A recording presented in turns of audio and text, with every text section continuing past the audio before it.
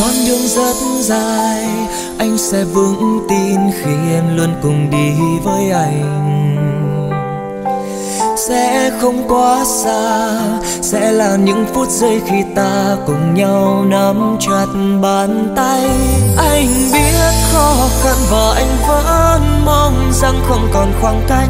Để em vẫn luôn bên anh trong bao ngày qua. Dường như cách xa không làm anh thôi nhớ em. Anh đem yêu thương vào nỗi nhớ.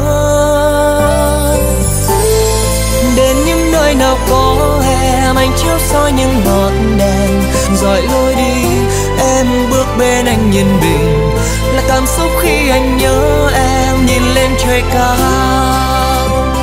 Và nói với trăng với sao anh muốn được gặp em? Đừng có cho anh thấy vui và soi anh khi em buồn. Hãy nói ra hết những tâm tư trong lòng, để biến giấc mơ của chúng ta thành hiện thực nhé hãy nắm tay và bước bên anh, người ơi.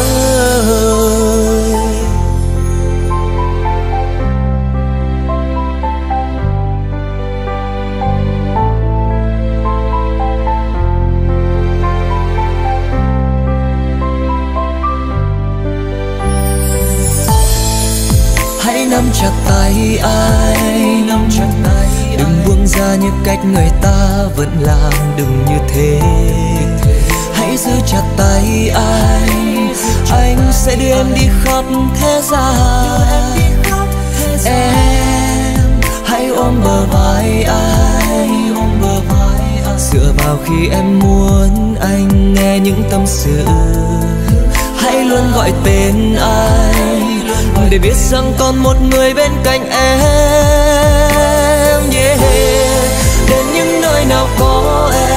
Em chiếu soi những ngọn đèn. Dọi lối đi, em bước bên anh yên bình.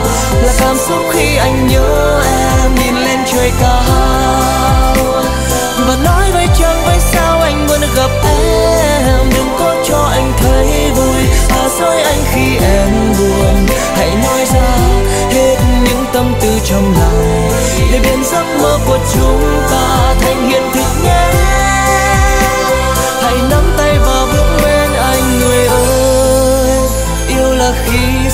vẫn nhớ đến nhau.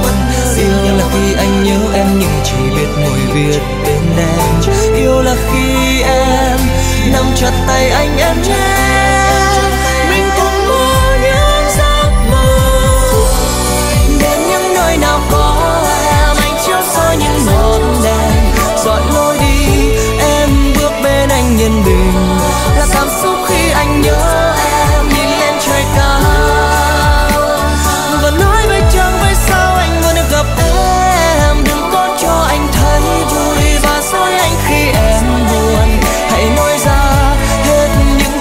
trong lòng. Để biến giấc mơ của chúng ta thành hiện thực.